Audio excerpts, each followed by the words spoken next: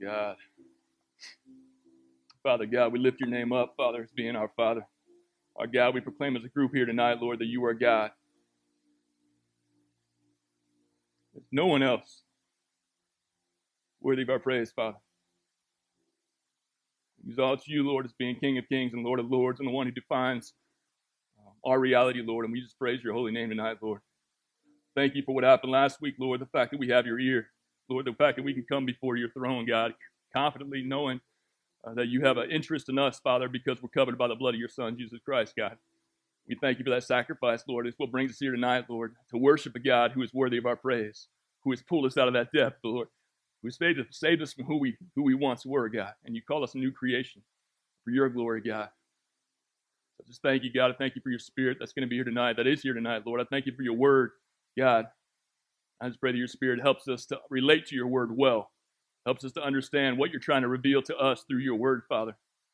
You're such a good God, and you've come down and you've touched man. You've given us you in the flesh and you in the word, Father, and you in each other. And God, we just thank you for what your spirit's about tonight, God. And I just want to take a second just to, to ask a blessing on my friend up here on the stage, Holly Brown, Lord, and, and just her whole family, God, just the sacrifice it takes every week in and out to lead us in worship, Lord, and to be committed to, to singing praises to your name, Father. And so I ask a blessing on Nate Brown, Lord, as he leads their household, God, and all four of their kids, Lord, just a blessing, a new revelation of you in their life and their family, Lord. We just ask that blessing on Holly and on Nate and their family in the name of Jesus Christ, Lord. Amen. Amen. Y'all can have a seat. Oh, God is good. You know, there's a there's a preacher man that I follow every now and then on uh, on the web and he tells this story. He gives this illustration. It's a real story that happened to him, but uh, he lives down in Dallas, Texas. He has an older home, and that, that home consists of a lot of plaster work. And if any of y'all know about plaster, you know that it cracks. Uh, and so what happened one day is he saw a crack begin to develop in his living room wall, and uh, he dealt with it for just a little bit, but then it just began to grow and grow and grow more. And he's like, "Man, I got to I got to get somebody in here to take care of this crack." So he called a friend of his, a contractor friend of his, who came and uh, came over to assess the situation. He's like, "Yeah, sure, I can fix that." So his contractor friend decides to go ahead and remove a certain piece of plaster that had a crack in it, replaster with brand new plaster, let it cure, let it dry, and then he came in and repainted it. Looked looked brand new, looked perfect, looked great. About 30 days later, though, preacher man gets back up and he goes in there and looks out the wall in his living room and he notices, man, that, that crack is back. And it, it, just keeps getting bigger. And so he's like, man, I paid this guy good money. He should be able to know what he's doing to come in here and fix my crack. So he calls his contractor back up and says, man, buddy, you know, I paid you for the, for a fix here, and the, and the fix didn't didn't didn't stick. And so, if you don't mind coming back over looking at it, he's like, yeah, sure, I'll be right over. So he comes over. He just takes out a kind of a larger piece of plaster and, and covers it with new plaster again, and he, he goes ahead and paints it. Looks brand new.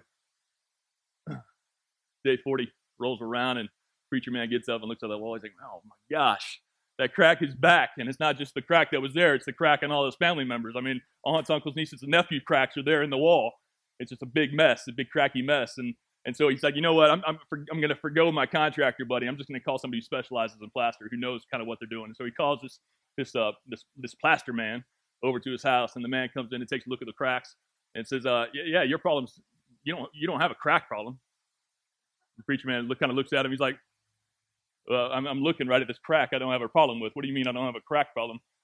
And he continues to say, you know, I, the, the crack is just a symptom of something, something much deeper that's going on here.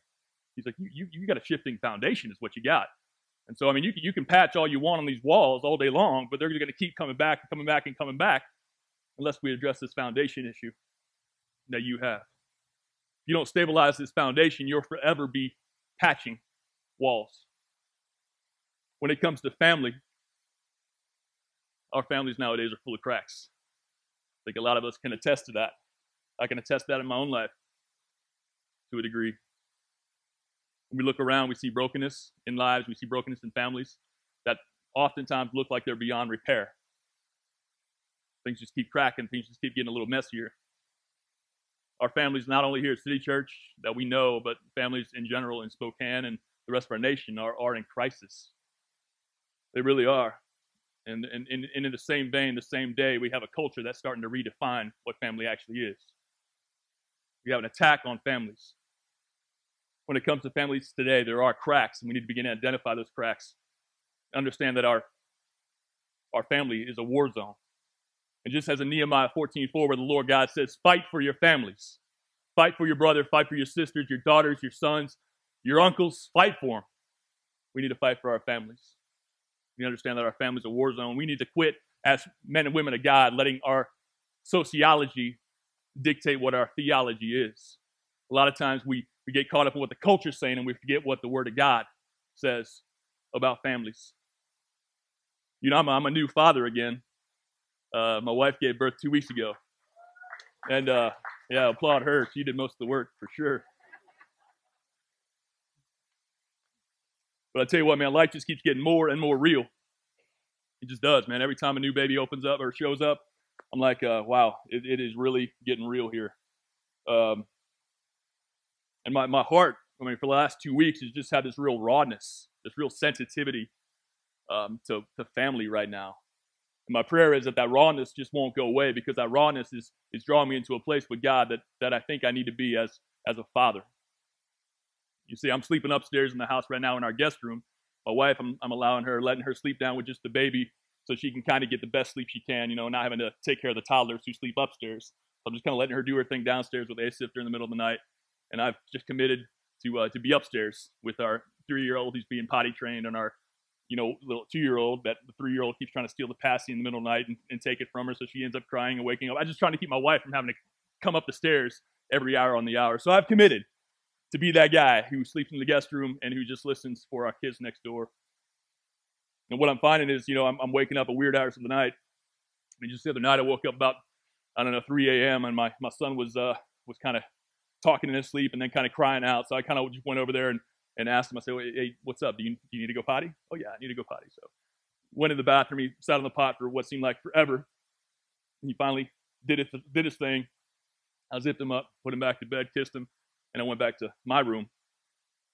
Problem was, I just couldn't get back to sleep. I was wide awake. I mean, I sat there in the bathroom for half an hour just waiting for my son to do his thing, and and uh, and so I'm here in bed and I and and, and restless, and I just you know I, I've just when I can't sleep at night, I, I've learned to do one thing, and that's just begin to pray to the Father and just allow Him to start defining where I'm at and why I can't sleep and the angst that's inside of me or whatever it might be going on. And what I've noticed is um, because of this rawness in my heart about being a new dad, um, my prayer life and my sensitivity and my thought is really geared towards my family right now. Um, and so I found myself on would have been Thursday night praying for three specific things.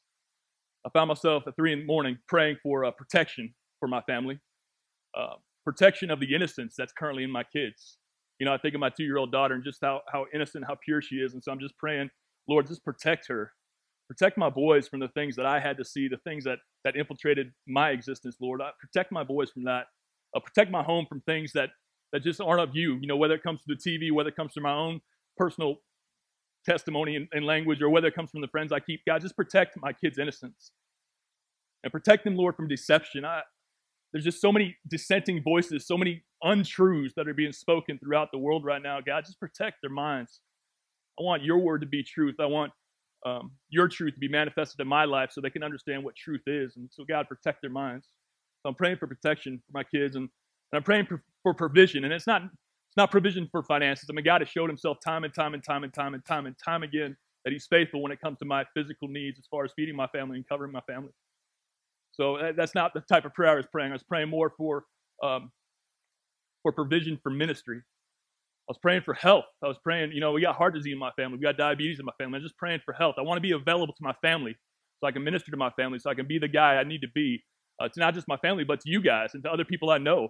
God grant, grant me with some health so I can so I can have long days and so I can be engaged in a real effective way. God, I need more time in my day, not in the sense that He gives me more hours, but in the sense that He helps me streamline my days and decide what's important and prioritize a little better. You know, maybe slough off the things that don't necessarily need, need to be there and prioritize just a bit so I can be more effective. So I so I, so I have time to notice the brokenness around me and then engage it, not, not just walk by and say, "Man, he's broken." You know, we were talking at men's group, actually at prayer prayer night on, on Thursday night about discipling and why why we sometimes don't disciple. And, and where the Spirit took me is, man, we're just too busy. We're just too busy, man. Our schedules are so full. We don't even have time if we wanted to to take time off to, to minister to somebody else.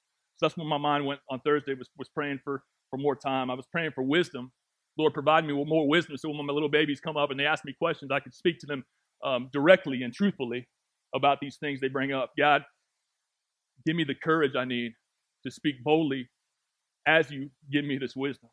One thing to have wisdom is another thing to be able to speak tactfully and in love towards somebody else in wisdom with that wisdom. So, God, provide these things, protect my family, provide these things. And then finally, I was praying for revelation.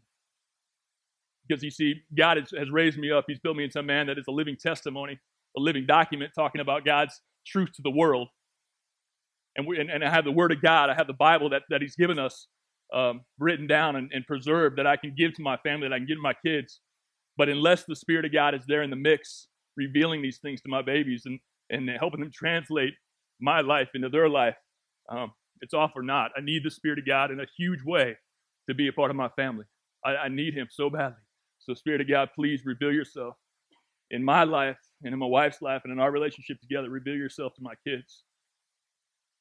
Because, guys, I believe, once again, this rawness in my heart is leading me to this decision, leading me to this stance. But I believe that I've been raised up for such a time as this to advance God's kingdom uh, through not only my own testimony of who John Leland is, but through my family's testimony. I just believe that's how God is advancing his kingdom or wishes to advance his kingdom within my context, as far as I'm concerned, with the advancement of my of my family, testimony of my family. Anybody who knows me um, knows that I, I speak a lot of kingdom stuff. I'm a big kingdom guy. I don't believe that we just exist by chance. I believe we have an intelligent God who has designed my existence and designed our existence, not only individually but together. Um, I don't I don't live under the authority of this world. I don't live under the authority of this culture. I live under the authority of a God, a God who's all knowing, a God who's all loving. I live under His sovereign rule, His loving rule, His well intentioned rule. And my desire, even though I don't live up to it all the time, but my true heart desire, my true heart desire is that I'll be wholeheartedly submitted to God's kingdom agenda at all times, personally, with my family, with you guys in relationship, with the world out, outside these walls. Dr. Tony Evans, he's a online evangelist. He has his own church down in Dallas, Texas. He defines the kingdom agenda as the visible demonstration of the comprehensive rule of God over all life.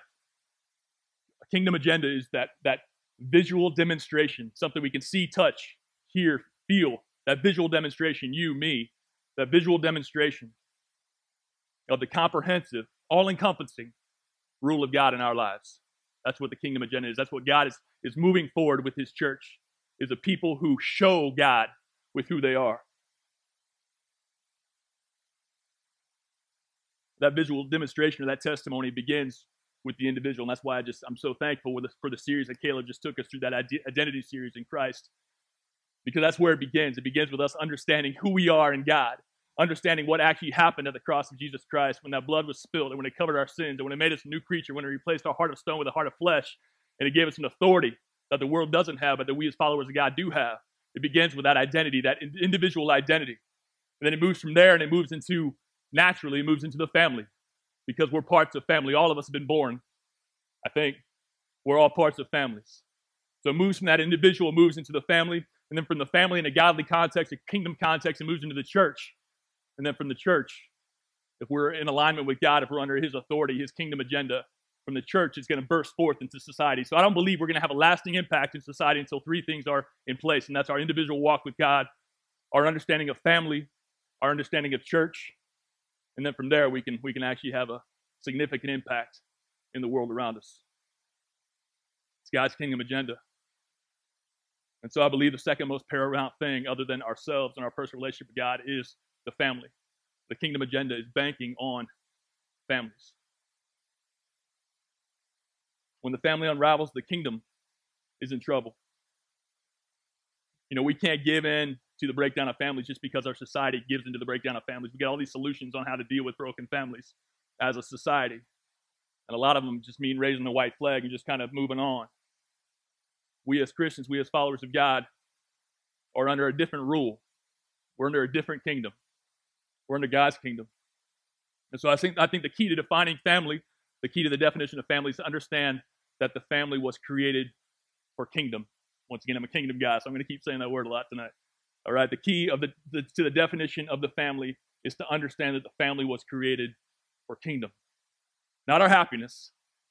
That's a byproduct. Don't get me wrong. That's a, that's a total benefit of family. I love my babies. I love my wife. I love my family. They make me happy. They make me smile. They give me joy. But that is not the purpose for my family. The purpose for my family is not my happiness. The purpose for my family is kingdom. So I want to show you that tonight by going to Genesis chapter 1. So if you got your Bibles, we're not going to have it on the screen tonight. So if you got your Bibles or your pads or your smartphones or your friend's Bible beside you, feel free to look at Genesis chapter 1 with me.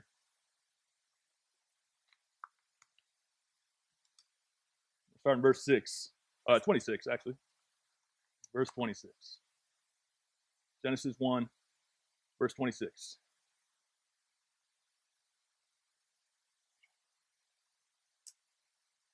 Y'all there? You there? Good deal. All right. Genesis 1:26. Then God said, "Let us make man in our image." This is the triune God, the Trinity, the God the Father, God the Son, God the Spirit. Let us make man in our image, according to our likeness, and let them rule over the fish of the sea, and over the birds of the sky, and over the cattle, and over all the things of the earth, and over every creeping thing that creeps on earth. God created man in his own image. In the image of God, he created him. Male and female, he created them. God blessed them and said to them, Be fruitful and multiply and fill the earth and subdue it, and rule over the fish of the sea, and the, over the birds of the sky, and over every living thing that moves on the earth. So God created family for what purpose? Well, looking at Genesis 1, I see a purpose of ruling. A lot of times we get kind of caught up in that word rule because we've seen it used so poorly in the context of our lives, where somebody lords over somebody or somebody rules who's not underneath the rule of God. And so that, that, that word rule has a weird connotation to us sometimes. So let's think of it more as dominion. All right, that's what ruling is in the, in the context of Genesis. God created the family for the purpose of having dominion over something. What's key about this verse, too, is you see God saying, Let us create man in our image. All right, he just didn't go out and create something unique. He created man in the image of God. Because as we have dominion as families and as people, we're supposed to be image bearers of God as well. We're supposed to take the likeness of God in the context of our family to the world that needs to see God so desperately. The family mirror, mirrors the triune God. And then we're called to replicate that, that image in history. So you got the Father, the Son, and the Holy Spirit creating man and woman, calling them family, in the expectation of us projecting that image to the people around us. We see the command of being fruitful and multiply. And this doesn't mean just having babies, just having lookalikes. You know, I, will be the first to uh, uh, admit my, my babies are cute, you know, but uh, but it's I, the reason I have babies is, is is not to just have lookalikes, not just have cute little babies. The reason I have babies is because I'm answering the call of God to be fruitful and multiply. And by the time my babies leave my home, I want them to bear the image of God on their lives so that they can go out and show the world what God looks like. And not only that, but so they can find their own families, start their own families, and continue to multiply that family in the context of this broken world. That's the purpose of families, is to promote the image of God, to grow it exponentially. What we've done is we've taken the benefit of the family, we've taken the benefit of the family, the happiness, the, uh, the companionship, the sexuality, we've taken the benefit of, of family, and we made it the reason for family. That's what we've done as a nation. It's what we've done as individuals from time to time. We, but we need to get back to God's design, God's designation of family. It's to mirror God, to mirror this, this unified diversity, which is God, the Father, the Son, the Holy Spirit, to mirror this and reflect it in history. So, how does one mirror a triune God? How does a family mirror a triune God? Well, triune God has distinct roles. They're equal in essence. I mean, God is God is God is God, you know. You got God the Father, God the Son, God the Spirit. They're all God, but they all have distinct and individual and separate roles. And by fulfilling these distinct roles, that Godhead, that triune God, that Trinity that we worship and call God, it's able to function as it's supposed to, as they're supposed to, as they as they desire it to. You see Jesus in John chapter 6, verse 38 saying, I didn't come to do my own will, I came to do the will of the Father. So you got the Father, and then you got John, Jesus in John chapter 6 saying, I didn't come to be God the Father, I came to do the will of the Father. So you got God, Jesus, saying, I came to do the will of the Father.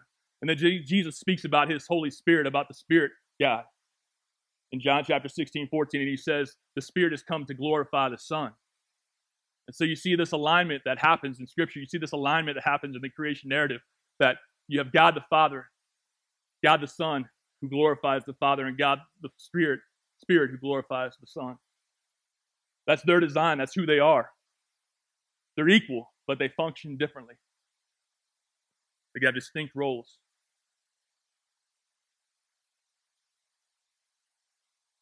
God has given all of us and families distinct roles as well. Once again, not for our benefit, even though it is a benefit, but for His glory and for His name's sake.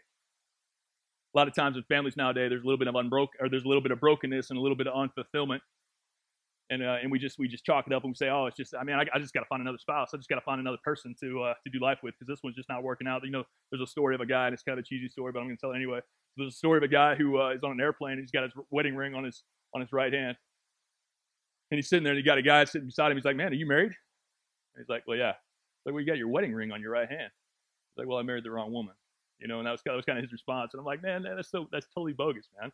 That's totally bogus. You didn't marry the the right woman or the wrong woman. It's just the fact that you and that woman weren't aligned with God and His calling in your life. That's why it's not working out. That's why there's brokenness. That's why there's unfulfillment. There's something out of out of kilter there as far as your alignment goes with God. You know, from a wife and I, and I just want to preface this this comment by, I, you know, I'm, this sermon is not to to knock anybody who's out here. I love you guys deeply, man, or else I wouldn't be up here. All right. It's not to it's not to, to fill you with doubt. It's not to, to embarrass you or shame you in one way, shape, or form. I'm just telling you the testimony of God in my life and how He has revealed Scripture to me in my life and some of the truths. All right. So my wife and I, as we consider our roles, as we consider our relationship to God, the God the Father, God the Son, and God the Spirit, um, we've just we've come to the commitment, and we made the commitment 15 years ago that no, no is just not an option. It's just not an option. You know, we've had we've had some bumpy spots, man. We've had some times where I've been such a punk, such a punk, but we've navigated it. I've sought forgiveness. I, I was broken before God because of my sin nature and because of the sin of my life manifested towards my wife, and and we repented and we forgave and we we moved on. We sought God and we wanted to be aligned under under Him. You know, we made the commitment that through thick or thin, man, till death do us part. No is just not an option for us. And I think as, as men and women of God, in the context of marriage, seeing how God is the one who put us together, no simply just isn't an option for us.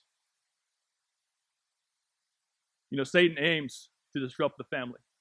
He aims to disrupt this family's alignment under God so as to remove our dominion, so as to remove our, our image of God from the world. See, if he can break the family, if he can disrupt who we are as he designed us to be, then, then he, can, he can take the minds of man because there's no longer the image before man of God. Let's go to Genesis chapter 2.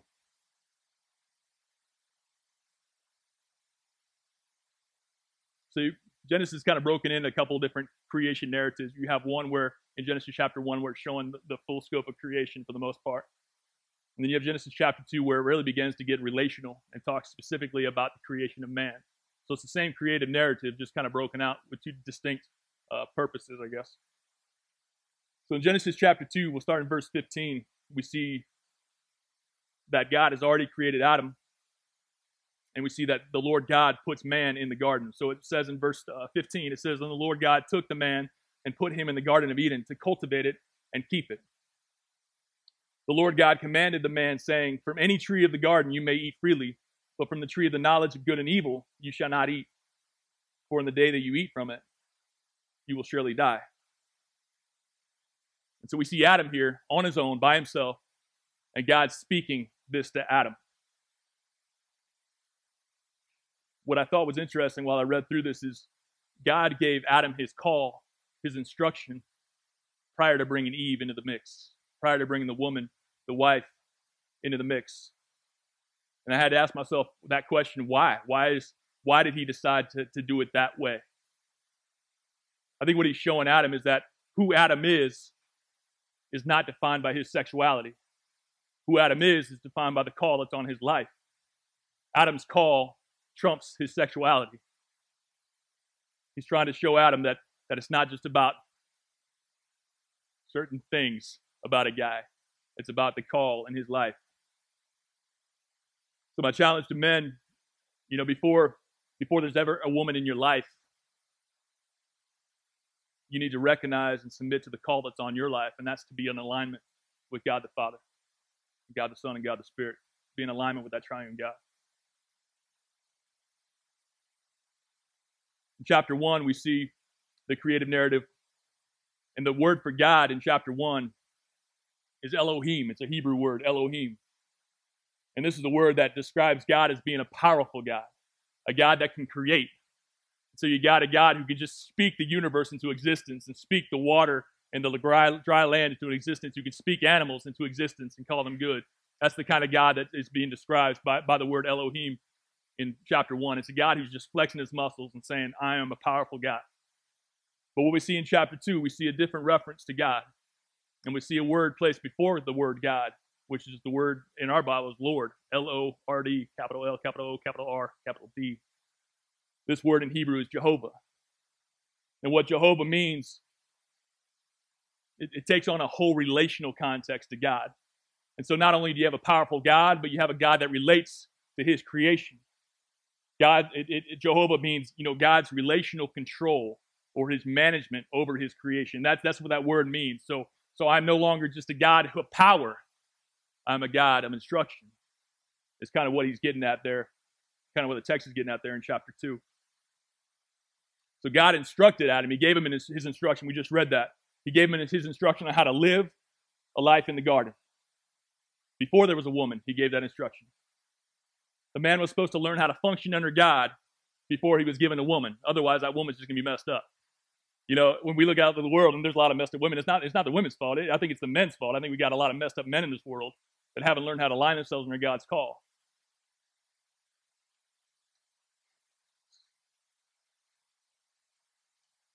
I've noticed, and I'm so glad I noticed, but I'm starting to believe and think that uh, that women are created in a certain way. Well, I know they are. I mean, obviously, God's design; He created women in a certain way.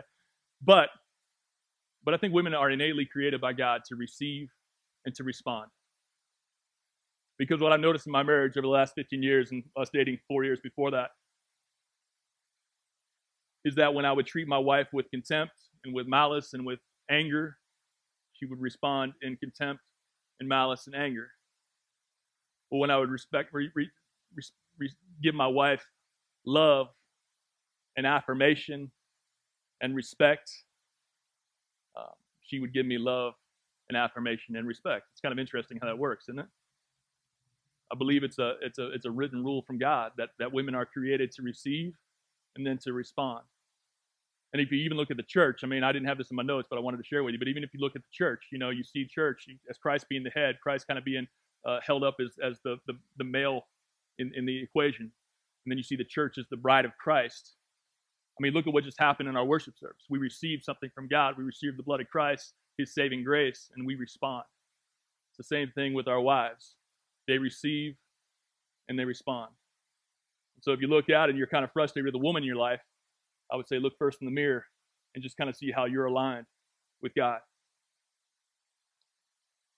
We see too many men refusing to recognize the Jehovah God, the Lord God.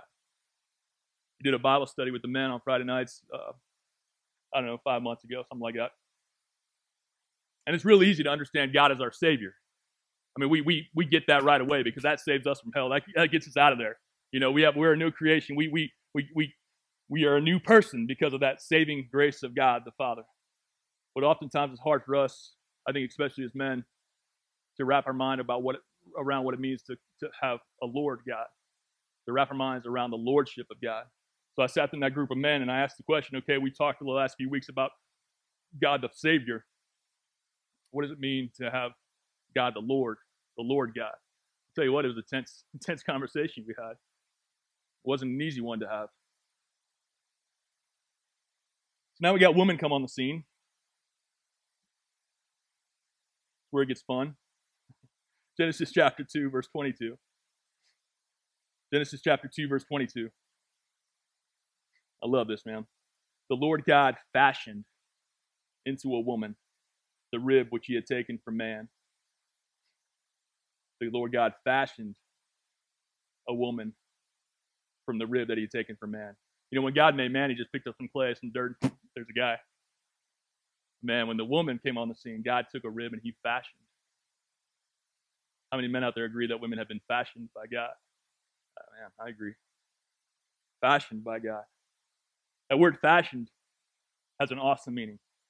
That word fashioned means that she was built with intentionality. As he was fashioned, she wasn't just thrown together. She wasn't just some recipe off Pinterest. She was fashioned for a purpose with intentionality. Man, what a killer, killer word. Fashioned by God. And then after God fashioned woman from the rib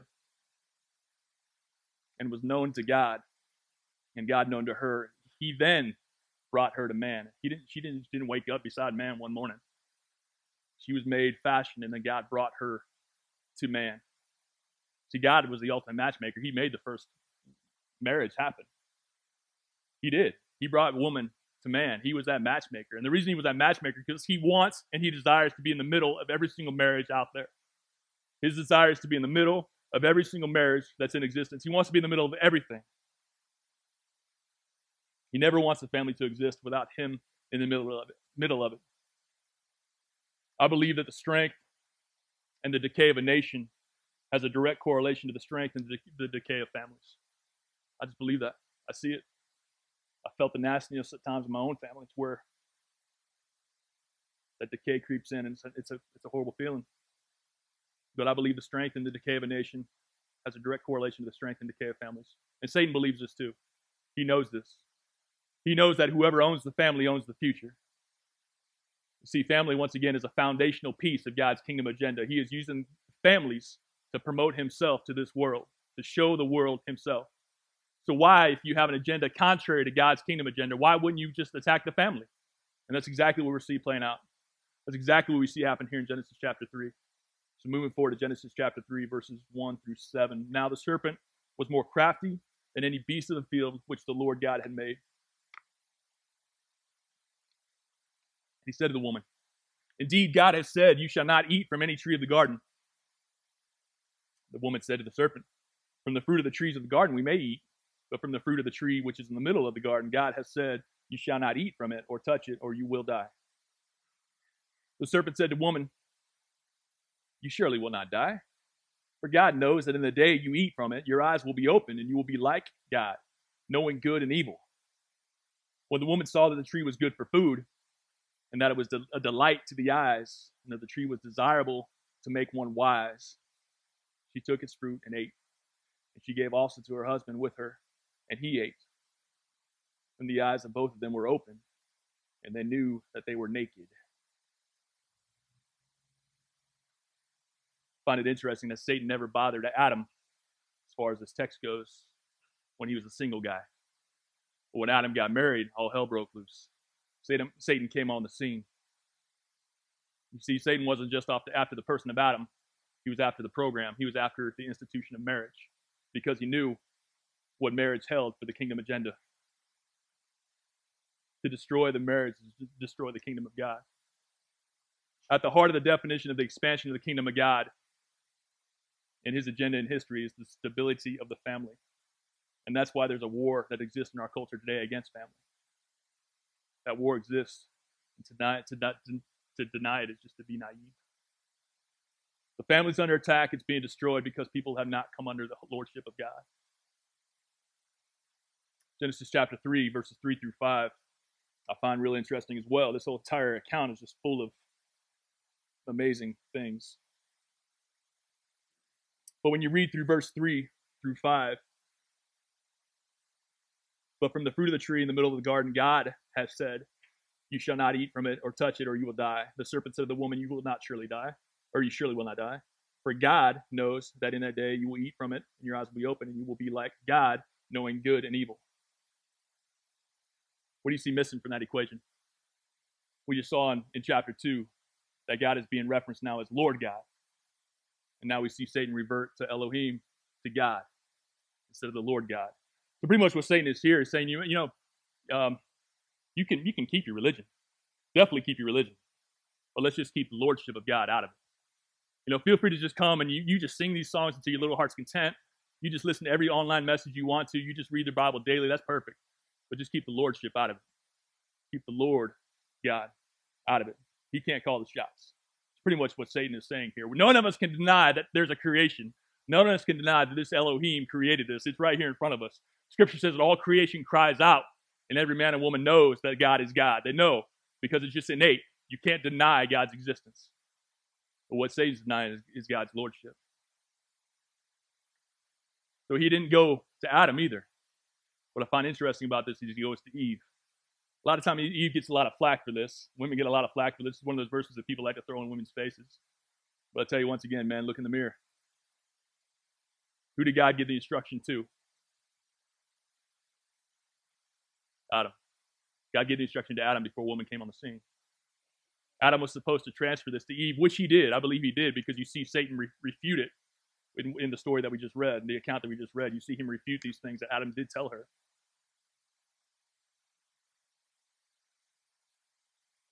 But what we see, we see God, or we see Satan, excuse me, trying to thwart the design of God.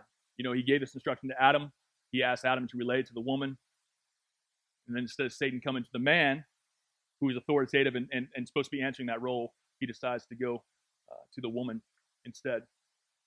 He kind of throws that whole relationship out of kilter, out of alignment. And that's his goal. His goal is to throw that order out of order so he can bring in hell's order. That's what he wants to do. He wants to uh, men to be out of alignment with God. He wants women to be out of alignment with men who are under the divine authority of God. If Satan can reverse that order, he can disrupt the design and he can control our homes.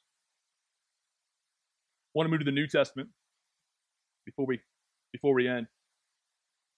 So I'm going to go to 1 Corinthians because I don't want this to just be an ancient story. I want it to be a relevant story that transforms families.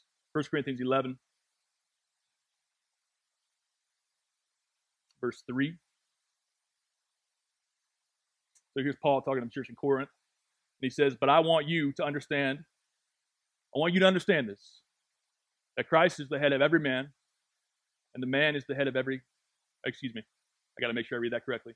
But I want you to understand that Christ is the head of every man, and the man is the head of a woman. And God is the head of Christ.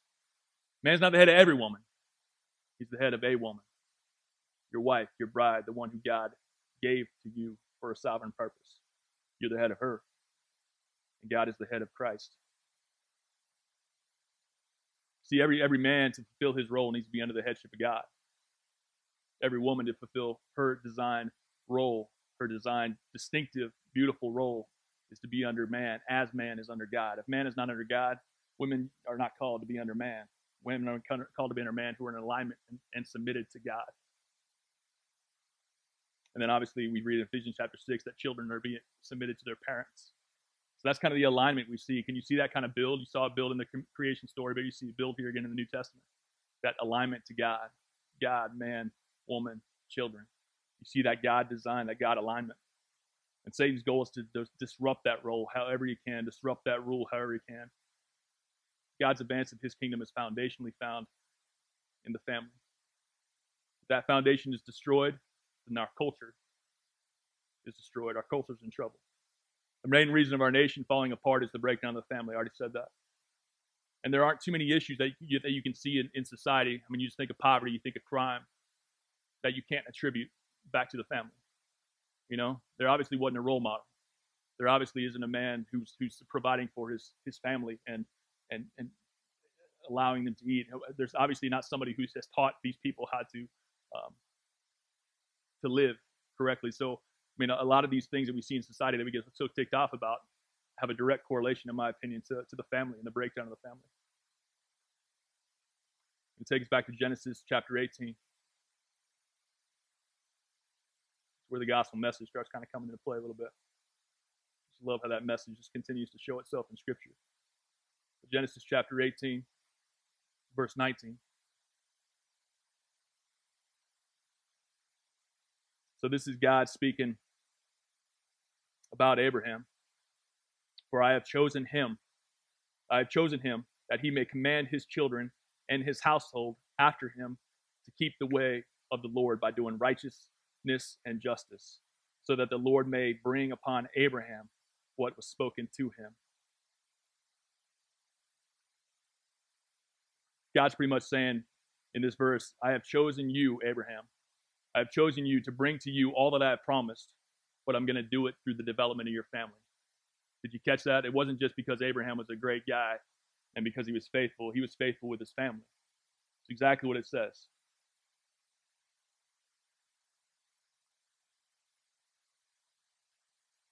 You see in Scripture too, you see God, Father, referenced as the God of Abraham, Isaac, and Jacob. Always kind of wondered why they why they always say that, but I think why they say that is because they want to tie it to the family. There's there's family relevance there. There's a family connection that is so important.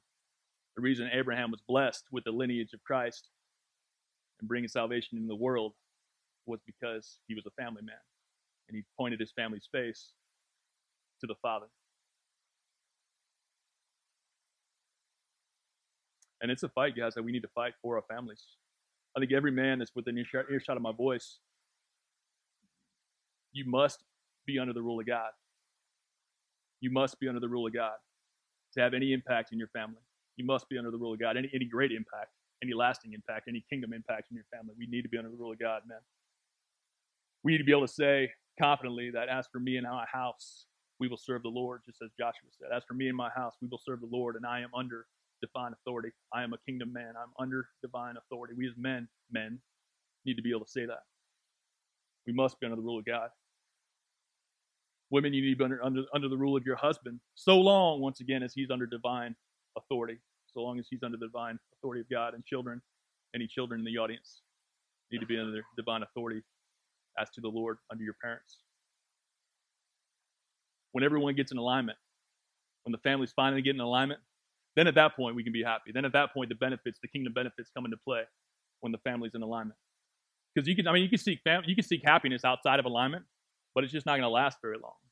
It's not going to last very long because the benefits of the kingdom are found within the kingdom confines, the confines and the design of the family. Like it's absolutely critical, guys, that we're going to save our nation. We better save our families. Our families need to be a rock, need to be built on a rock. And as I was writing this down, I'm, you know, once again, being a father of small kids, I'm just reminded of the, the, the tale of the three little pigs. You know, you got the, the big bad wolf who huffs and puffs and he blows down the house of straw. He huffs and puffs, blows down the house of sticks. But our house needs to be built on a very, very strong foundation, which is God Himself. And Satan can just wear himself out trying to blow and blow and blow. I'm not going to be naive and say that there's not going to be any blowing that's going to come into our context. There's going to be some issues and some problems that are going to come into this family of God. But I tell you what, man, if we have the mindset of Nehemiah 14 and we fight for our families, Satan's going to wear himself out, blowing, blowing, and blowing. A lot of the single men in the audience might uh, be saying, man, this would have been a great Sunday just to stay home and watch football. But I tell you what, until you get a family, you need to get ready for a family. Before you get a family, you need to be, be ready for a family. You need to be the right kind of person so when the right person comes along at the right time, you can have dominion and advance the kingdom of God through your family. Hopefully that's your desire as single men of God. Be under under God. So when God brings that beautiful woman who he fashioned for his glory, for his purpose, you can align yourself under God with her and change change this world. I've already referenced just the broken families that kind of exist here at City Church. And once again, I'm not preaching the sermon to to shame. I'm not preaching the sermon to to drive a wedge. I'm preaching the sermon to show you um, God's intentional design for showing the world more of Him. It's through relationship. It's relationally through His creation. There's a lot of families in here that have suffered from divorce. I mean, I know a lot of families here personally. There's families here that have suffered because of a loss and death. There's family here that have brokenness because of there's there's unbelieving spouses in the mix. Your man's just not coming here with you. Some of us, me included, we just have family conflict. We just there's just a family member that we just don't have access to anymore because of life circumstances. There's a brokenness in my family just as there's a brokenness in your family. But what I love about God the Father is you know, this this breakdown of families in our society didn't did not catch him by surprise. He's not responding out of haste and out of, you know, ignorance. Our God is not an ignorant God. Our God responded before time began. In Ephesians chapter 1, verse 5, we see that. He knew that there was going to be breakdown of families. What Ephesians 1 5 says, he says that he predestined, predestined us to the adoption as sons and daughters through Jesus Christ himself. Predestined. It wasn't an afterthought. Because he loves us so much, he predestined his son to die on a cross for us according to his kind intention, is what the word says. His kind intention. He's not a malicious God, he's a loving and kind and intentional God. So we're all part of a family. Those of us who would call on the name of Jesus Christ as being Lord. We're all part of a family. So even in the midst of our brokenness, even in the midst of these crazy things that are happening in our, in our immediate families, we're brought together in a unique family called the Church of God. So I just think it's a perfect time once again to, to celebrate communion together. You know, we've done it the last, I don't know, six weeks in a row, which is kind of a record for us, but let's make it seven. Because I just, I, I think it's a beautiful example of God's intentionality. God sent his son to die on a cross, to spill his blood, so that my sin nature will be covered, so your sin nature would be covered. So we'll be made new creations and brought into a new family. So even though brokenness exists in our families, we can take hope knowing that we're part of a, a, a higher family. So even in the physicality of our broken physical family, we're part of a spiritual body, the body of Christ, that, that welcomes you in, that holds you up as being a dear brother and dear sister, and we can exalt him as Father together. So I hope this message is a message of, of, of hope more so than shame or, or, or brokenness. I hope you see that you have a God who is intentional, a God that loves you, a God that wants to trumpet his cause, which is a great cause to the world around us, and he wants to use you as individuals and you as families to do that. So our typical MO here at City Church is we kind of start singing a song and we kind of um, just kind of come up as we feel led and, and have communion together. Uh, but I'm going to get a little chaotic tonight, and I just want us all to kind of stand up together if you're able. If you're not, that's fine. If you're not, just raise your hand. I'll bring it to you. That's fine. But I want us to do this as a family. So I want us to just stand up as we kind of sing the song together and sharing communion together, understanding that we are the body of Christ. We're family. So let's celebrate that together tonight through the communion. Go ahead and take and eat if you haven't already, if you have it with you. Doing this as a family tonight.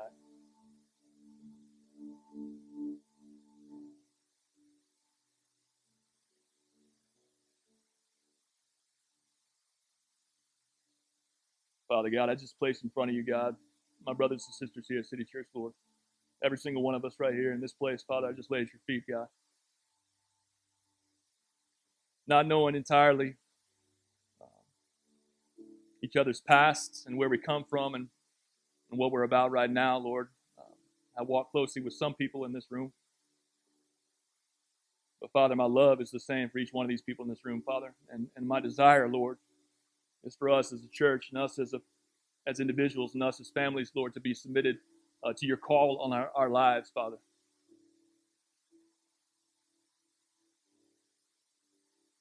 God, not just so we can look good, not just so we can have it all figured out and be put together, Father, but because that's your design for us, God. You, you know what's best for us as individuals. And you put us into families, God. You've created man and woman, and you put us together for your sovereign purpose, God, which is your kingdom, and to show your likeness to this world around us that needs to see you so desperately, Father. So, God, give us a greater revelation to you as it relates to us as singles, as us as, as family members, as us that come from broken families. Lord, give, give us a greater revelation to you, Father. God, I thank you for your intentionality, Lord. Of even, even in the midst of brokenness, God, you, you meet us and you touch us and you heal us, God. Even in the crazy times that my family has, has had of just uh, being in strife and argument, Lord, you've brought us back together, God, because you've shown each one of us, both of us, God, uh, who we are without you and our deep need for you and who you blessed us with, God. You've opened our eyes to the things of you, Father, and that's the only reason my family exists, God, is because you're a good God, Lord, and you've designed us to be together, God. And so I acknowledge you as being a good God who, who holds families together, God, for a purpose.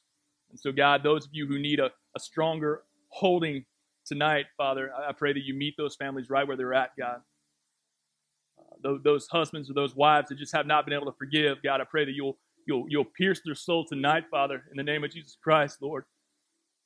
And just loose their hearts, Father, with forgiveness, God. I pray that they can forgive, Lord. For those families, those mothers and fathers that have embittered children, children that just uh, say no all the time to family. And who are rebellious, God, I pray that you will do a work in those children's lives, Father, to, to bring them back, Lord, to soften their hearts, Lord, in the name of Jesus Christ, Father. God, I pray that you will give those families peace tonight, Father. Knowing that you're an intentional God, a well thought out being who, who, who, thinks through the needs of the people before we even recognize them as being our needs, Father. And you provided a way. God, we praise you for being that kind of God. God, the men in this room, Lord, I just pray specifically for them right now, Lord, that they can be men who are aligned under your authority, God. There's so many things in this world that want to take us away and, and disalign us, throw us out of alignment with you, Father. But God, I pray that there will be a deep burning in our hearts to just get right with you tonight, God. And God, as we get right with you as men, Father, I pray that you can give us the wisdom to lead our families well, Father. Thank you, Lord, for your goodness, God. Thank you for being here tonight. I thank you for your word, Lord, that speaks so much truth into my life, Lord. I pray that it does a transformation in my life as it does a transformation in my brothers and sisters here tonight, Lord. Just pray these things in the name of Christ, Lord, in the power of the risen Savior, Lord. We pray these things. Amen. Anyone here tonight who, who needs specific prayer or feels a desire to pray uh, with me or with Caleb or Jason, feel free just to pull us aside. I'd love to pray for any brokenness that, that might be in your family. But just go tonight, be blessed, and uh, and I'll see you see you real soon. Love you guys.